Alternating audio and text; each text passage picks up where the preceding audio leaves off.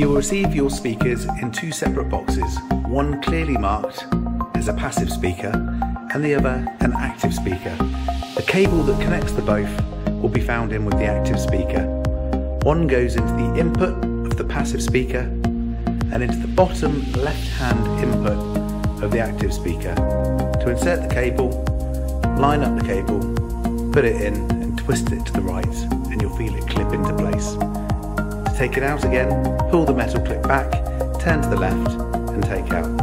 One more time, put it in, turn to the right. And we repeat that process on the passive speaker. You're now all set up, ready to put your power cable in and turn the active speaker on.